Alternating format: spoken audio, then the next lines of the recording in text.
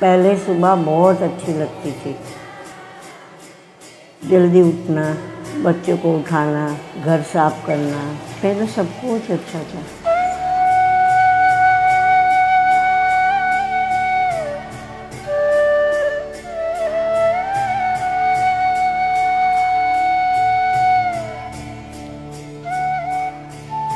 बच्चों के साथ घूमने जाया करते थे, जो एक को अच्छा लगे वो दूसरे को अच्छा नहीं लगता दोनों की पसंद का खाना अलग अलग बनाना पड़ता था।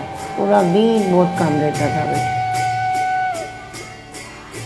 बच्चे आते थे स्कूल से, फिर उनके साथ थोड़ा नाश्ता देना, चाय दूध देना।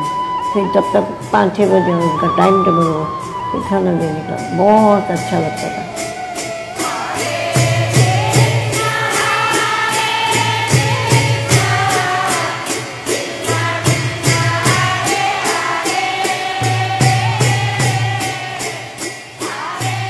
बेटी की शादी किया बेटी गई जमाई, हम लड़कियाँ, कितने आनंद से रहते थे।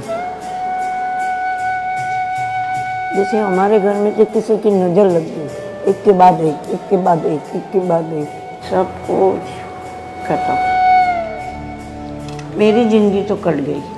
अब बच्चों के लिए मैं कुछ कर सकूँ, इसीलिए मैं यहाँ आई हूँ। आज तक मैंने कुछ नहीं मांगा, कभी किसी से। आज बच्चों के लिए मुझे सबके सामने हाथ फैलाना पड़ता है।